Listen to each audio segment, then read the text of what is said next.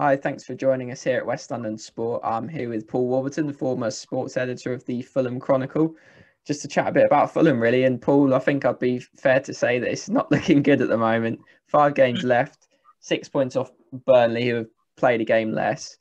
Um, as far as you're concerned, do you think it's done, or are you still holding out a bit of hope that Fulham can somehow pull off a great escape and stay up? How are you, your sort of thoughts on the, the situation at the moment?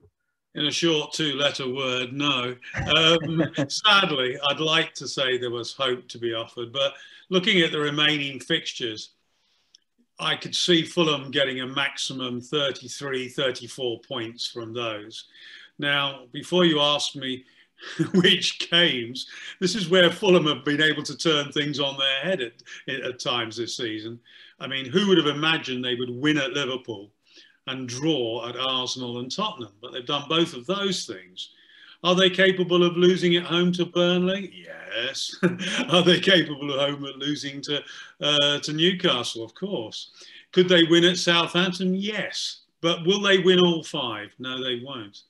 And the fact of the matter remains that without wins, pretty much, I mean, four out of five wins might just save them, but they're not going to do that.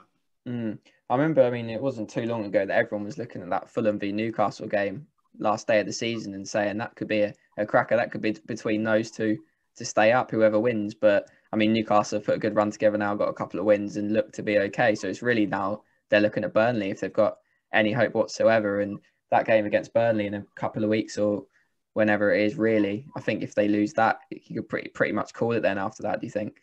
I think I I think even before that, Chelsea away, you know, they need results out of everything, you know, in some shape or form or another.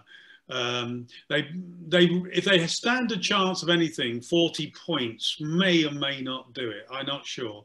But you, to get 40 points, you are going to have to do pretty much those four wins, or you're going to have to get draws and wins and a combination of all of those. So if they were to be beaten by Chelsea, then you know, uh, depending on how the others do, it could already be done, you mm-hmm. know, before you get to Burnley, just mm. about. Yeah, it's. I mean, you say forty points there. I mean, it's been a lot less in recent seasons, hasn't it? I think uh, when my team Blackpool got promoted, we got relegated with thirty nine, and that was uh, a re- re- real high to get relegated. So that was even more of a kick in the, the teeth that that happened. But yeah, it's, uh, it's... the funny thing is, Dan, I looked that up a, a, while ago, as you do. Yeah. Things trying to carve out hope for Fulham, if you want to call it that. Uh, there was only one season which would needed 40 points, believe it or not, since 2001. And that was the season West Ham mm, actually yeah. with Scott Parker and Wolves yeah. playing those 40 points in order to, to stay up. But you're right, uh, the average over the last 20 seasons has been uh, 36, you know, with the lowest being 34. But you see, the teams in safety now have got 33, 34. So, mm. you know, that isn't going to happen. You aren't going to have a, a side uh, surviving on 34. They, you, you, I can't see, with all the best will in the world, Brighton, Burnley, and Newcastle only getting one more point for the to, from now until the end of the season. So it's going to be closer to 40, and uh, and mm, Fulham need 13, don't they? You know, so it's going to have to be pretty much results all the way. That is the big thing as well, isn't it? It's completely out of their hands now. It's Burnley and Newcastle and Brighton slipping up to a massive extent that they're going to drop enough points that somehow Fulham are going to catch them and that is the, the sad reality of it. I mean, the last time we spoke, it was sort of February time um, mm. And things they weren't amazing, but they were looking up a little bit. And February was a quite a strong month, a few wins together. Beat Liverpool in March, of course, but since that win against Liverpool, it's just been loss after loss, and obviously got the draw against Arsenal that should really have been a win because of the late equaliser. weren't didn't manage to hang on. But I mean, when when you look at the team and the performances, like what are the what is the big factor that you look at and think that's what's contributing to this bad run? Well, let's go back a, a, notch by saying, let's look at the manager in charge. He was a great defensive midfielder, Scott Parker, in his time, both as a player for various Premier League clubs and England. but he thinks like a defensive midfielder. It's no secret, is it, that Fulham have carved out a number of nil-nil draws, nine I think it is off the top of my head, and a fair number of one-one draws. Now, you know, if they had managed a striker worthy of the name uh, in the summer, or perhaps even in the uh, transfer window, uh, and although Josh Maja has been had an impact, not as much of an impact as say a striker coming last last yes last September, of course, would have had. But they didn't get one, did they? You know, and it was interesting because he uh, Scott Park was asked about why didn't you go for Ollie Watkins? Because he was a Londoner, a West Londoner at that. You know, mm. could they have got Ollie Watkins? I'm pretty sure they could have done. Huge so. fee though. Aston Villa paid for it. Would ah. been a massive commitment from the club, wouldn't it?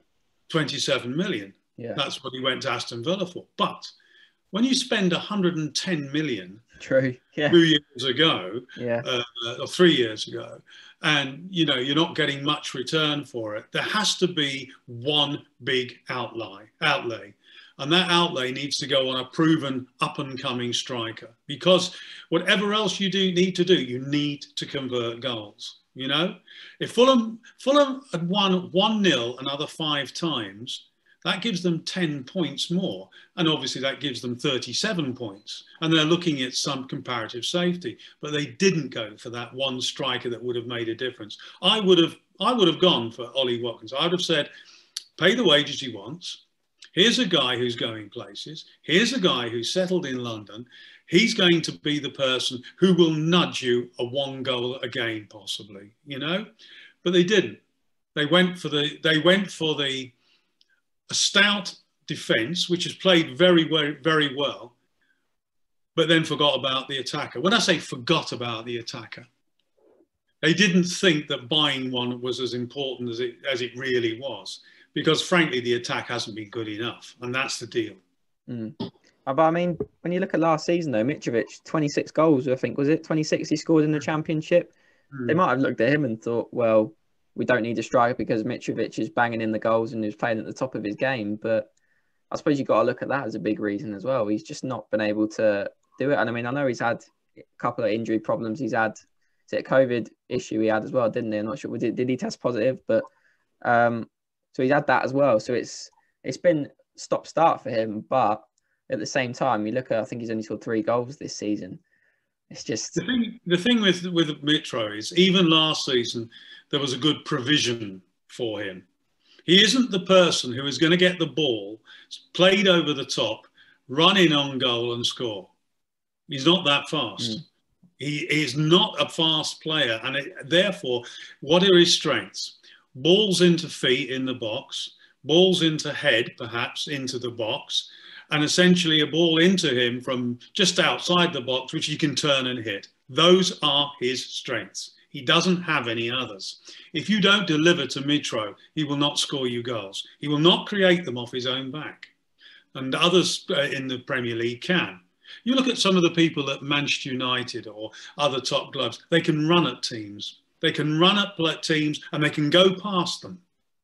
Mitro can't go past a player and therefore he isn't ever going to be the one to get you those kind of goals. And they needed somebody like that as well. They needed somebody who could deliver balls to him as well, and that hasn't happened either. And frankly, I know this is going to be sounds ever so clever. Why am I not managing Fulham? But I could see it coming. I really could. They needed they needed somebody who was really good at delivering a ball that would actually play to Mitro's strengths, and they didn't have one of those either. Yeah, I mean, watching Fulham, they do seem to spend a lot of time playing in front of the opposition team and not getting in behind them, which is always a you're always going to struggle with that. I think. Um, I mean, when you look at the squad, Paul, I mean, hmm. it's it's strange, isn't it? Because there's a lot of actual good talent and young talent in the team. It's not like you're looking at the team and thinking, "Oh my god, like what are we?" Like Sheffield United thinking, "Oh my god, like what are we going to do here?" There's hmm. there's positives in there, and there are a lot of exciting young players they've got, but I mean, if they go down again, obviously it will be Championship, Premier League, champ, yo-yoing from the two divisions. Would you look at the team and think we need to rebuild it slightly? We need to do something a bit different here, or would you be keen to keep it together? And, and can they keep it together if they go down? Uh, the answer is yes, they will need to rebuild, and no, they can't keep that team together because the the, the players, most of them are uh, not most, but five or five or six are loans. Yeah, like Anderson and people like Madrid. And best loans, Anderson, you've just mentioned, Adarabioyo and others will go back to their clubs. Actually, mm. I suspect that one or two of those are now looking at uh, good moves. I think Anderson, especially, I think he's. I mean, the reports are already flying around about him, aren't they? He's impressed on a team that's been battling relegation as a defender. That's quite hard to do as well in, in a lot of cases. He would give Harry Maguire a run for his money any day of the week. No, I mean he he would. You know, he, he's better than Maguire. He can pass better. His positioning skills are better. He anticipates. You know, and he's and he's you know robust as well. You know, if he were English, he would be an international. Shame he will not. go to a Premier League club. You know, um, he won't be staying at Fulham in the Championship in a thousand years. You know, nor will add, uh, nor will uh, Areola, the keeper, and I suspect most of the others will go back as well. In fact, all of them will go back. So you are left with having to build in certain places. You know, that said, the championship isn't going to be as demanding. So, do you give Michael Hector a second chance? Probably. Do you give Tim Ream another go? He can do a job, you know. Denis Odoi in that division will do you a decent job. And remember, you've also now got Antonee Robinson as well and Tosin to augment that. So, you know, as, as a championship defence goes, it isn't the worst in the world, but you are going to need to tweak areas in order to improve it. Um, and yes, by the way, to the earlier point you made, Dan, yeah, they will go up and down. I can see it happening, you know. it's, it's a, frustrating, isn't it? Because there are worse. There are hundred percent worse places to be. I mean, look at look at them a few years ago when they were right down the bottom of the championship, and you're thinking they could end up in League One here quite seriously and only just escape. So there are worse places to be, but at the same time, it's such a frustrating place to be as a Fulham supporter when you can't build enough to stay up in the Premier League, but you're strong in the. I mean, you get a lot of good, good glory. You know, same as I've yeah. been a Norwich fan. There, going up and down, and they've had another great season this year, and everyone's feeling good. So Fulham might be feeling good again next year if they finish high up the championship. But it's such a like roller coaster of emotions. It's so difficult for the for the fans and frustrating. And it makes me laugh that West Bromwich Albion fans, when they chant, tend to go boing boing baggy, and and you think to yourself, boing boing is absolutely yeah. right. There's they go, now, isn't there? Like, like teams like that. Yeah, there's quite a few teams. I mean, like you said, West Brom, Fulham, Norwich, they're all in the same boat pretty much. Yeah, I, up until a, a more recently, Wolves might have been categorised similarly, you know.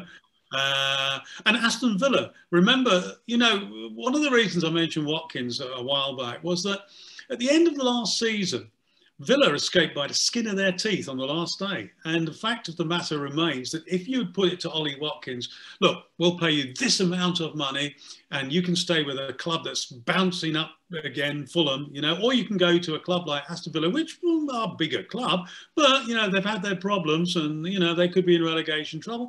You know, you've got a good selling point, you know, nobody at Fulham made the slightest effort, as far as I can tell. And I got the impression when he was asked that Scott Parker didn't really fancy him. You know, well, that was a big mistake for a start. Even even if you didn't go for Watkins, you need a striker. You know, you need that extra person, and I think Fulham will need will, will need that even in the in the Championship. To be honest with you, I mean, how much rope has Mitro got left? Does he really want to stay? Well, maybe. You know.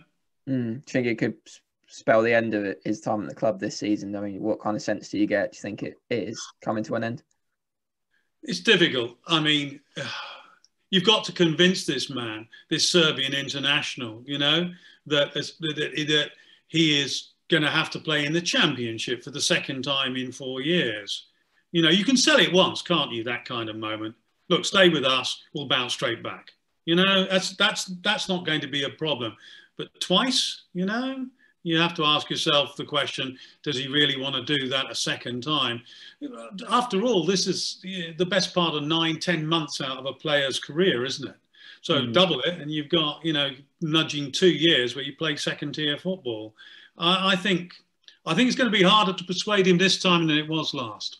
And at, but at the same time, he's not done anything this season to really warrant staying in the Premier League. He's, he's, he's not been good enough. So no. you look at that and think, well, are any top flight clubs going to go for him? And at the same time, I suppose you could go abroad somewhere else that, that might be interested in him. But I mean, I suppose from Fulham's perspective, they might be looking at it as well and thinking, do we need to go in another direction? But I mean, like you say, mean, as far as you're concerned, do you feel like it's a case of they'll need to rebuild the team rather than they'll be choosing to rebuild the team? And as well, I was thinking, Fulham got to that point now where, like we've just spoken about, going up and down, where they do have to, and they've had a lot of turnover of players in the last couple of years. Don't get me wrong, the team's changed a fair bit, but I mean, what what do they need to do to to be able to come up and actually build a foundation to stay up? Like, what what is the missing ingredient? I know it's a big question to ask, and you might you might not be able to put your finger on one thing, but what is it like from? They need to keep Scott Parker. Uh, I know that he's got his critics, and I and I was one of them. Remember at the top of this uh, broadcast that when I said that he doesn't really understand, I think forwards or the need for them. well, I mean, I say the need for forwards. It's not his thing to see it from a forwards point of view, but he's very good at building a team. I think that he understands young players, and I think he understands getting the best out of them too. So, for example, you know, Antonee Robinson, Tosin, yeah, you know, they, they, they've, um, to an extent, Ademola Lookman, uh, De Cordova-Reid, they've kind of thrived at Fulham. And I think they've thrived because of Scott Parker. So what he needs to do is to find hungry footballers with talent, like the ones I've mentioned, that can spearhead Fulham's charge, if you like, back to the Premier League. And then when they get there, he needs to augment, if Parker's still in charge, he needs, they need to augment it with two or three really talented players. Now, by really talented, I don't mean ones that come with baggage. You know, poor, I mean, Ruben Loftus Cheek came off the back of a very serious injury. Yeah. And there's a, and this season was all going to be about rebuilding his, first of all, his confidence, his form, and, and hoping that those would all click into gear. To me, that comes with baggage. You know, you're hoping that person comes with, you know, uh, an intent to, to bounce back to where he was. There's too many questions there, to be honest with you.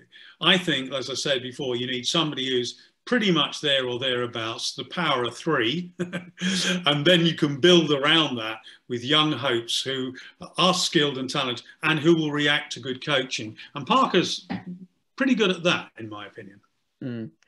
Yeah, it's frustrating that obviously Fulham are looking like they're going to have to do that again for not the first time in, in recent years. Yes. Uh, but you never know. We we could look back at this chat and think, well, what on earth are we talking about? They could pull off a miraculous survival and we'll look stupid. But it, yeah, at the moment, it, it, it looks Terrific. unlikely. Imagine if they won four out of five or five out of five. It can happen. I mean, you look at Leicester a few years ago, the year before they won the league, and yes. they were done it for not long before, to, you know, till the end of the season. So.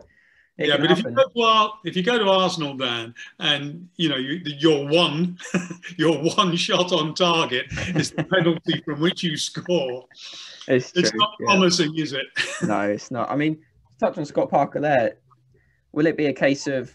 I mean, it might be a case of fans will and Fulham will be looking at should they keep him, but is it also a case of can they keep him? Because mm. there's going to be a few clubs that probably are looking for managers. We'll wait to see what Roy Hodgson at Crystal Palace the situation is there.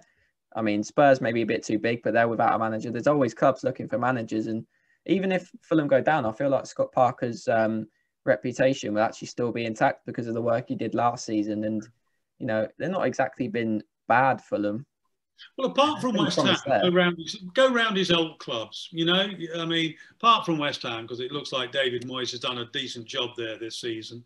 Um, Tottenham, why wouldn't they go for Scott Parker? They've had a big name there. It hasn't worked out. Inevitably, Jose Mourinho always has a shelf life, you know, wherever he goes. So why not go for something a little bit more, I don't know, uh, sure, something with a bit of foundation to it. Some and somebody who knows the club, which Scott Parker does. He, after all, not only did he play for them, but he's recently coached the under 23s, didn't he? And then if you go look at say Newcastle, You know, there's loads of fans who will tell you Steve Bruce isn't the isn't the final word. And then if you you know if you want to just plow on through all the all the possibilities. You, you, you could say Crystal is a South London boy. Roy Hodgson's going. Why not Crystal Palace? You, you could make a case for a number of clubs who might fancy somebody like that. And let's face it, he's only 40, so possibly his best managerial years to come. And he's proven that on a you know a so-so budget this year, Fulham more or less competed. And as I said, if they'd had a proven striker, I think they would be, you know, a shoe in to stay in the league. So you're right. Maybe somebody will come in for Scott Parker and uh, uh, and then take him back to the Premier League. Mm.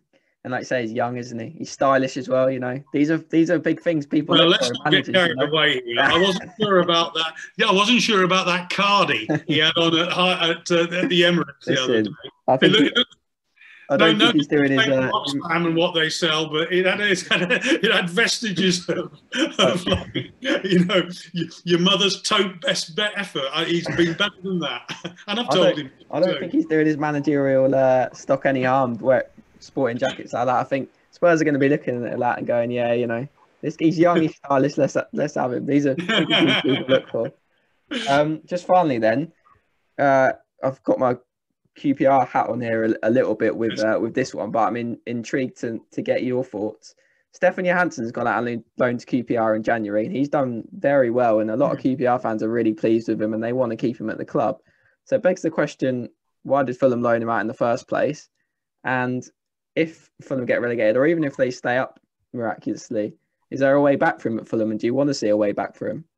Good question. I think if um, Fulham were relegated, then you've got to ask yourself, can he do a job in the uh, can he do a job in the championship?